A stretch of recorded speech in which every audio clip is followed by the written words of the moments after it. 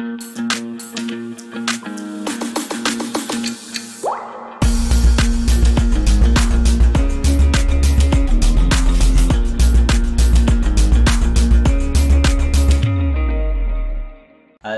hello, hello, hi. It's been some time, it's been a while.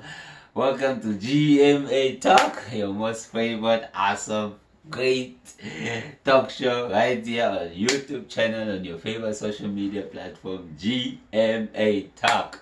With your host, yours truly, Gerard Mutabazi Amani. Thank you for subscribing, thank you for liking, thank you for watching, thank you for sharing and for commenting. Uh, this is GMA Talk where we bring the latest in what is happening with the world of refugees around the world and the world of migration around the world. And we try to see uh, the challenges and the solutions, and specifically uh, refugees themselves being uh, agents uh, of change uh, or parts of solutions at the, at the decisions tables. So uh, this week, we want to cover what is happening at the Mexico-US border with migrants from Haiti.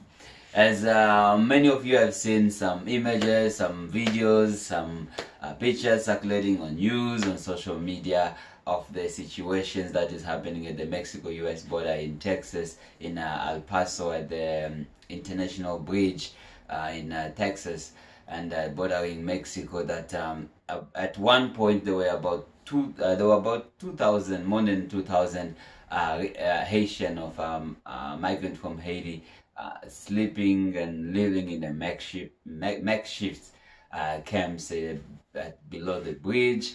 And then at the same time, these past few days or recently, the, according to the news, over 2,000 of uh, migrants have been deported uh, from uh, US uh, back to Mexico. And now the situation is this is um, according to some news or some report, you know, uh, first of all, you know, to claim asylum is not illegal.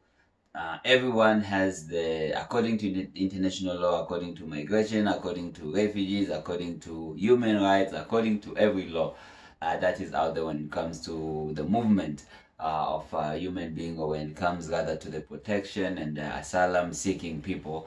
Uh, everyone has the right to claim asylum and everyone has the right for the case to be heard uh, in that country of uh, asylum that is being claimed. But what the US is doing it's illegal and it's bad and it's inhumane in so many ways and not really uh, many leaders or much organizations are speaking against these uh, inhumane and illegal and counterproductive uh, measures of uh, deporting the Haitians back uh, to Haiti. Uh, where some of them they haven't lived there in months, they haven't lived there in years because they've been taking the journey like for a long time. They've been living in the around the routes, around the uh, the neighbor, uh, the different countries in the neighborhood uh, for a long time. So with now the U.S taking them and then sending them back without even hearing the the case, without even hearing the situation, without even giving them a chance, you know, to to state the case, the case, and without even knowing where they are being deported to back, where they are being sent, whether they have families back there, whether their life are in danger, whether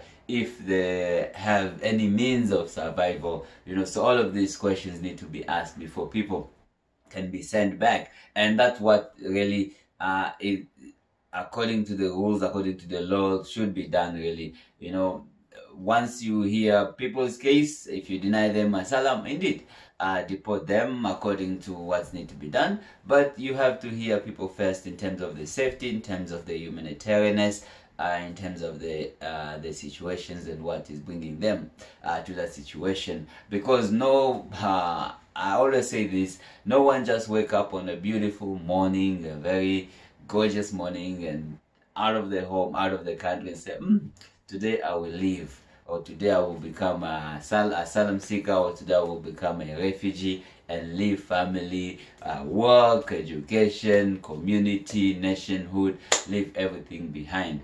So these are the things that need to be examined very carefully. These are the things that need to be looked at very carefully.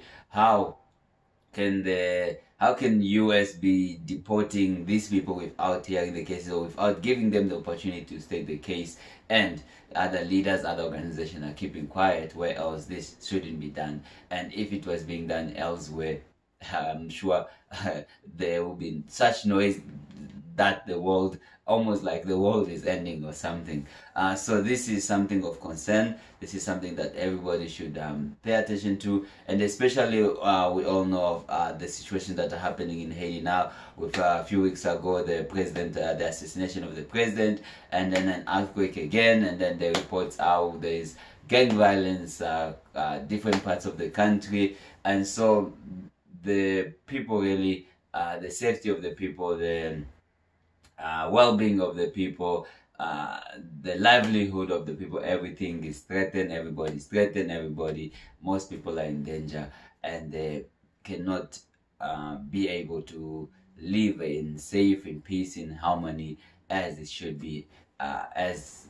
it should be in order for them to build uh, their life, to build their family. So to the leaders of uh, United States, to the leaders of Mexico, the leaders of Texas, to the organizations that uh, help both migrants and refugees. Really, uh, everyone should work together to see, okay, these people, how can they be uh, helped? How can they be supported? How can they be uh, how can the case be heard? How can they be given the opportunity to state their case instead of just allowing or or letting go by without saying anything where the United States is just putting people on the plane, dropping them in Haiti, not even knowing uh, what they're going back to. So this is something to pay attention to, uh, the situations of migrants uh, at the uh, US uh, Mexico border of uh, Haitian people, and hopefully solutions can be sought with the two countries and the uh, other partners and uh, organizations that are in charge of helping and supporting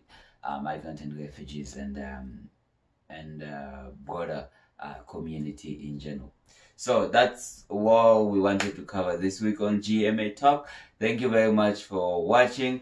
Uh, please subscribe, please share, please be informed of what is happening at the Mexico-US border with Haitian migrant and hopefully more uh, and more support can be uh, sought and can be brought forward on this situation. Love, peace, and unity with your host right here, GMA Talk. Thank you very much.